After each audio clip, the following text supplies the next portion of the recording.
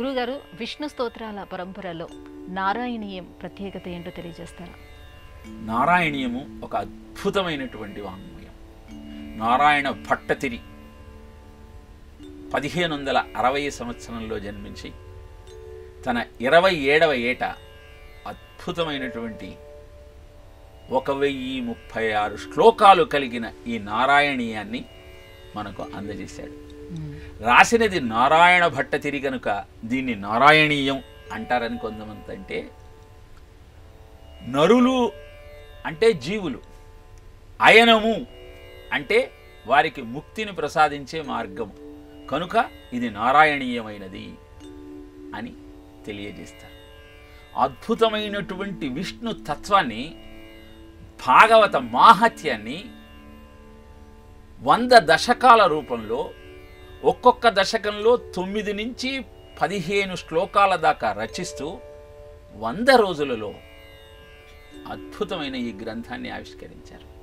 ఈ గ్రంథాన్ని ఆవిష్కరించిన నేపథ్యాన్ని పరిశీలిస్తే దీని విశిష్టత ఏమిటో మనకు అవగతమవుతుంది.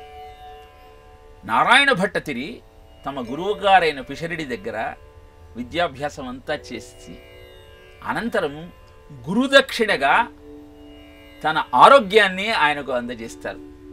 ఆయన గురువుగారు పక్షవాత రోగంతో బాధపడుతూ ఉంటారు.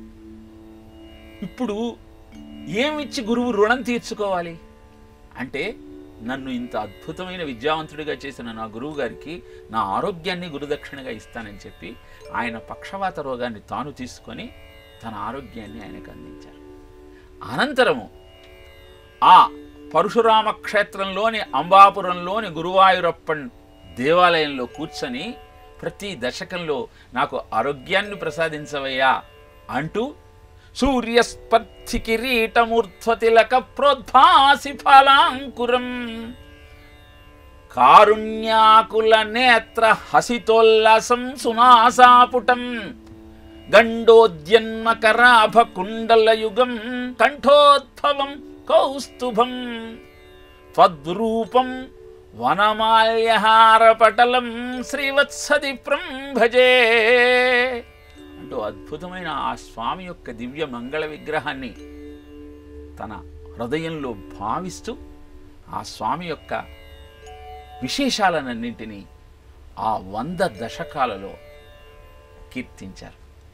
భాగవతాన్ని ఆ నూరు దశకాలలో ఆవిష్కరించిన అనంతరం ఆశ్చర్యంగా ఆయన పూర్ణ స్వస్థుడయ్యాడు.